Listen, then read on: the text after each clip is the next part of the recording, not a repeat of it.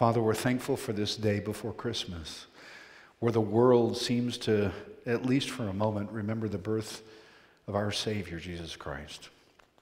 Father, help us to take that into the world, to not make it just an annual event, but to proclaim the good news of a risen Savior that gave his life as an atoning sacrifice for our sins, so that through him, Father, we might have eternal life with you.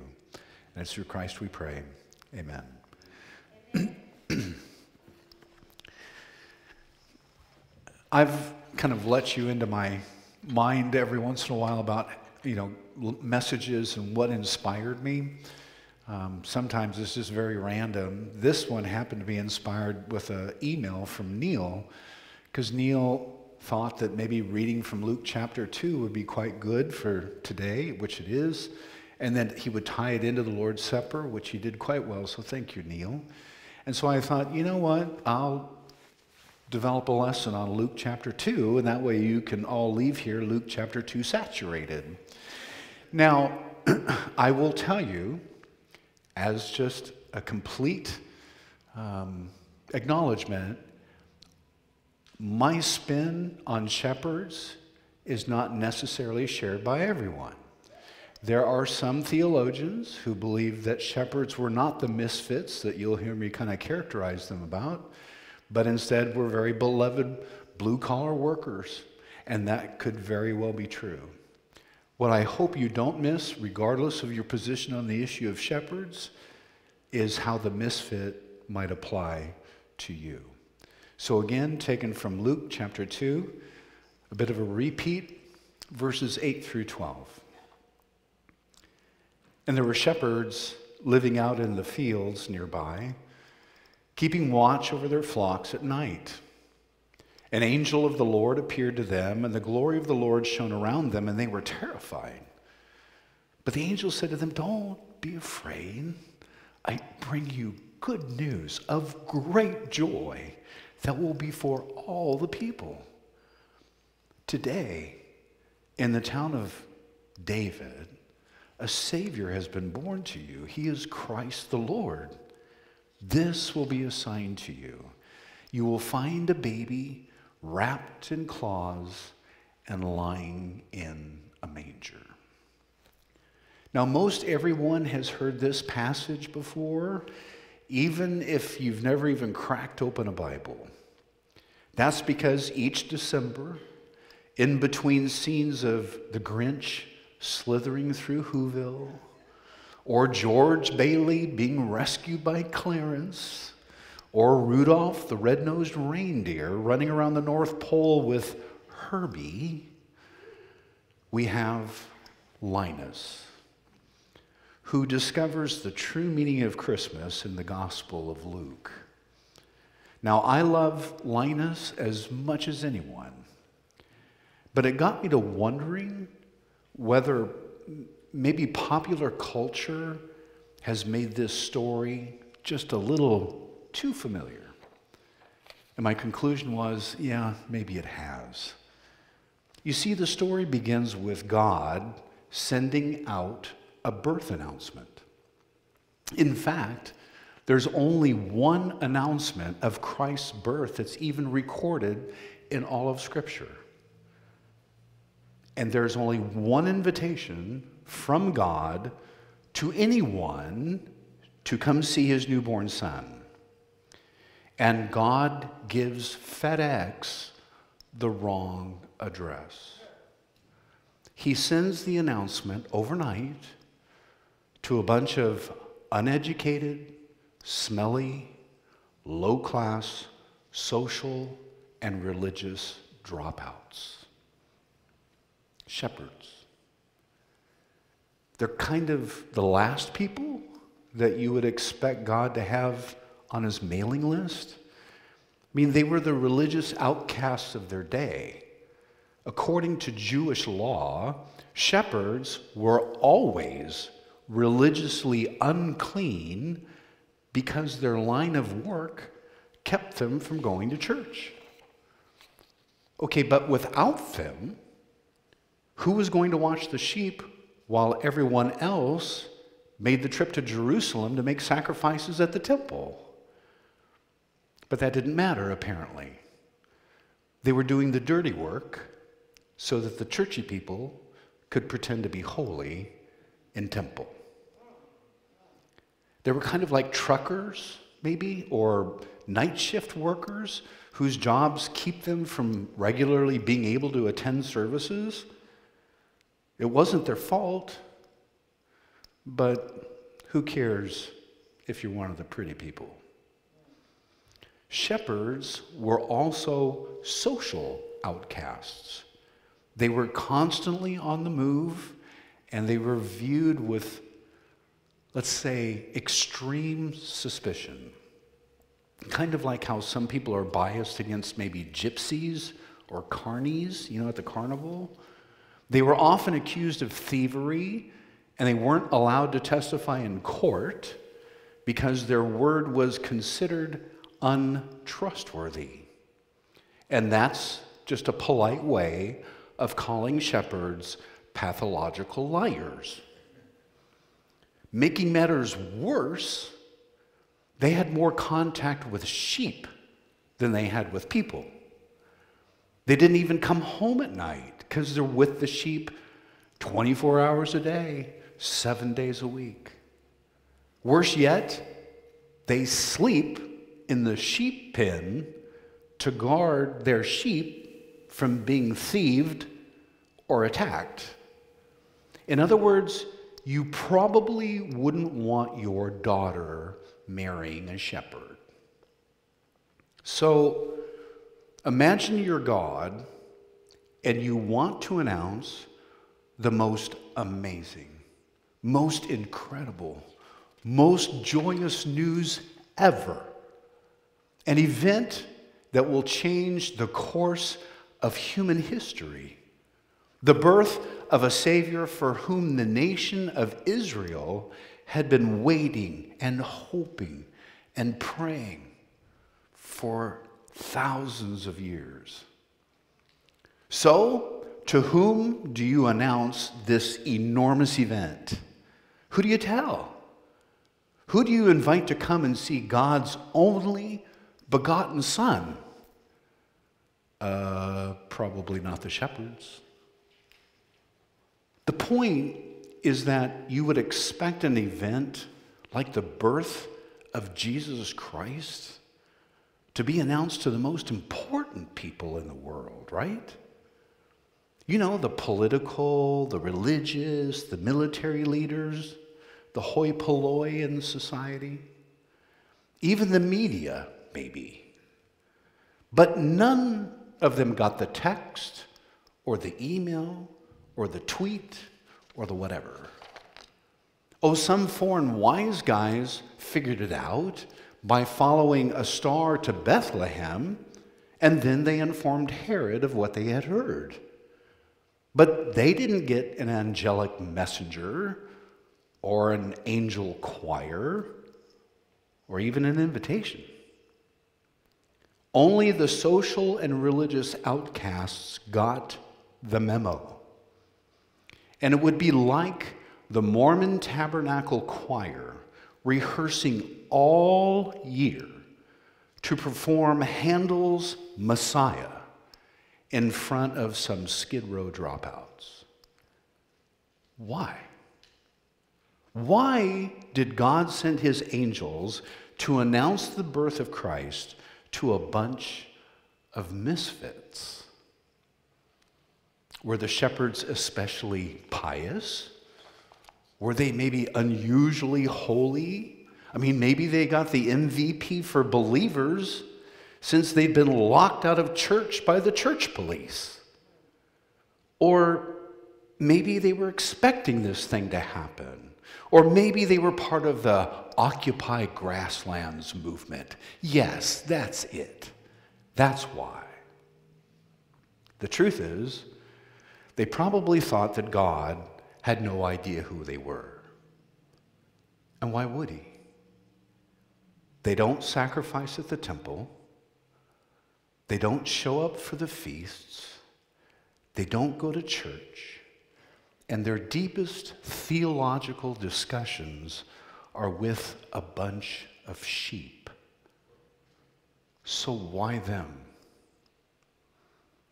Maybe it was because God wanted to demonstrate first to the shepherds that his love does not discriminate on the basis of class or wealth or race or social standing. God doesn't discriminate on the basis of intelligence or education or profession or political power or any other adjective that you can ascribe. God doesn't respect kings more than cab drivers, and he doesn't respect priests more than pew potatoes. But then again, that's our God, because he's kind of indiscriminate that way. Paul makes the same point in his first letter to the Corinthians. And here's what he said My dear friends, remember what you were when God chose you. The people of this world didn't think that many of you were wise. Only a few of you were in places of power, and not many of you came from important families. But God chose the foolish things of this world to put the wise to shame. He chose the weak things of this world to put the powerful to shame. What the world thinks is worthless, useless, and nothing at all is what God used to destroy what the world considers important. God did all this to keep anyone from bragging to him. You are God's children. He sent Jesus Christ to save us and to make us wise, acceptable, and holy. So, if you want to brag, do what the scriptures say and brag about the Lord. Now, I imagine, church, that many nights as the shepherds sat in, at least during the wintertime, those cold and lonely fields, they may have looked out over the valley and the villages and saw the lights of homes far away. And maybe they heard the faint sound of families and people laughing, and maybe they wished they could have been a part of that. And maybe you felt that way too. Maybe you're not one of the pretty people. Maybe you're not particularly wealthy. Maybe you're not particularly powerful or even influential. Maybe you'll never see your name in the newspaper for some extraordinary accomplishment. Maybe you're on the fringes, either socially or religiously or both.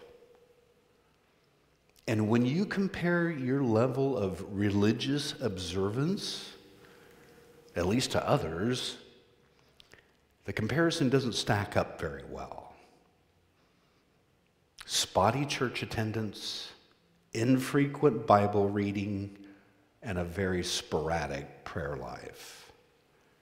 You think that if God even knows you exist, he's probably not very impressed. And if this happens to strike a chord with you, then I've got great news. I've got terrific news, in fact. The best possible news that you could have heard all day. God loves you just like he loved those shepherds. Just like those shepherds were special to him. So special, in fact, that he gave the shepherds the incredible privilege of being the first to hear of Christ's birth. And other than Mary and Joseph, the first to lay eyes on the only Son of God. God didn't give those privileges to the Roman Caesar at the time or to the Jewish high priest. He gave that privilege to shepherds, not in spite of who they were, but to whom they belonged. Humble, ordinary people with few opinions about themselves, simple people who were willing to believe what God told them. And when they heard the news, they didn't seek out a bunch of religious professionals for a second opinion. When they were invited to visit Bethlehem to see the newborn Messiah, I don't read where they were terribly worried about who's going to watch the sheep. They didn't get bogged down in debates about how they were going to find this really itty bitty small baby in this big, big city town. They simply obeyed and went. God likes to use the ordinary so that, kind of like a mirror, his power can be reflected in his creation. And it's true that God didn't send an angel to you or to me with the news of Christ's birth, but he did send us an invitation. And here's what it says in Luke chapter 2, verses 10 and 11. I'm here to announce a great and joyful event that is meant for everybody worldwide. A Savior has been born in David's town, a Savior who is Messiah and Master. Church, do not let the simple yet profound message of Christmas be lost on you this season. God knows you and loves you, even if you're a misfit. Jesus changed the world with 12 of them, and he can change the world with you too. So, this season, this day, tomorrow. Know who you belong to and know that He loves you unconditionally.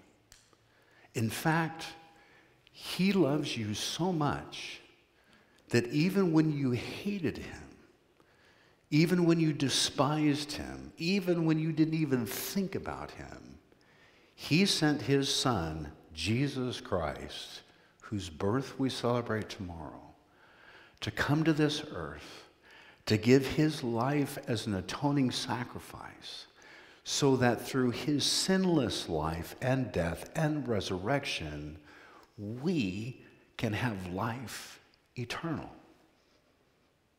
That's a pretty amazing concept when you think about it. And you think, well, no. I mean, he can forgive me, but how can I live with God? I'm not a righteous person. Well, the Bible says that those who have been baptized into his death and raised to walk in a newness of life are righteous. Does that make me a righteous person? No, because I'm still a sinner. But from God's perspective, when he sees our life, he views it through the lens of his son Jesus, whose atoning blood makes you right with God. And if that's true, what great, great news. And if you don't know this Jesus, then let me tell you more about him. Or let others here tell you more about him. Or if you do know Jesus, it's not a club. Go tell other people. It's not some sort of secret where you have to use a special knock here on the door to get into the church building. This is a hospital. It is a place where sick people come to be informed of God's love for them and that there's a cure for their disease, and that is eternal death. People can leave the hospital well, not perfect, but well. So today, as you spend time with family, tomorrow, as you spend time with family, please make it a really merry, Merry Christmas because we have much for which to be thankful. So, as Steve said, he's going to be coming up now to lead us in this next song. So, Steve, why don't you advance it to the next slide? Perfect.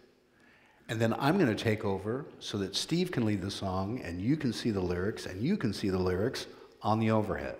Then, after that, I'm going to come back. And if you have any of those prayer requests, happy to take them. We'll spend a few minutes with them. And depending upon how many requests there are and how much longer I speak, my Christmas gift to you is you get to leave early. Let's stand and let's sing. Father, we're grateful for the love that you've given to us by sending your Son, Jesus Christ, to die for our sins so we might live with you forever. And Father, during this time, we are reminded of the birth of our Savior, Jesus Christ. And that 32, 33 years later, he gives his life as an atoning sacrifice for our sins. And so the only way that he could give his life is to be given life, which you did through your Holy Spirit. So we're grateful, Father, for that event, and we celebrate it. Help us to be kind and passionate and loving to others, to bring them into our family to help celebrate the birth of our Savior, Jesus Christ. And Father, as you know, life here is not easy. Dennis has certainly been through it. He's had issues with substance abuse, and that's been resolved, but the consequences of that have not. And so he's pursuing his education to get his driver's license back so he can drive wherever he needs to, other than just appointments and those kinds of things. So, Father, bless him as he goes through that process. And then coupled with his wanting to get the license back is the problem with his neck that he suffered because of work-related accident when he was in the Navy decades ago, and it just continues to persist, and it's just not getting better. So God, help the doctors be insightful and give Dennis some options so that he can get back to where he would like to be and the flexibility he'd like to have and the mobility that he really seeks in his neck. Father, we're mindful of the Dillard's youngest son's best friend. He's part of Deontay and Kenyatta's family, and their house burned to the ground. All of their Christmas gifts were destroyed. Certainly, Christmas spirit has been dampened. And we wonder how could such tragedies happen on such a happy occasion? And we're reminded, God, that life is difficult. And you've never promised that it would be easy, but you did promise that you would be available and you would help. And so, God, we turn to you in prayer to help that family. It's not a happy occasion for them. They have nothing left of what they've accumulated over a lifetime except for the clothes that were on their back when they're fleeing the burning house. God, help others come alongside them and be helpful to give generously to them, to be kind to them, to give them shelter, to give them food, to give them clothes, to help get them back on their feet, Father. It's such a difficult time, and they could really use your comfort and your care. And then, of course, Derek Copeland, he's suffering from both prostate cancer and kidney cancer. And of course, you know, the kidney is going to be removed, but they still have to deal with the prostate cancer. God, whenever we hear about cancer, it frightens us. We don't know exactly what to do, but you know what? You've gifted us with talented men and women that through the use of science and all those kinds of things, you can work through them, Father, to heal people. And so we pray that you'd bring him health and hope, that you would put in his way people that could help his medical condition and make him better. And so, God, for these people and for others, we ask your blessing. And as we leave this place, help us to be encouraged. Help us to not keep the birth and life and death of our Savior Jesus Christ a secret, but to share it with others. And Father, during this season, help us to be generous with our time and our resources because there are others living among us who are not as fortunate. Put them in our path so that we can be generous to them. Help us to walk through the next several days with our eyes wide open, to see opportunities where we can help, and most importantly, opportunities where we can love. So be with us and guide us, watch over us. Let this be a very blessed and Merry Christmas. And it's through your Son who gave us Christmas to begin with, we pray. Amen.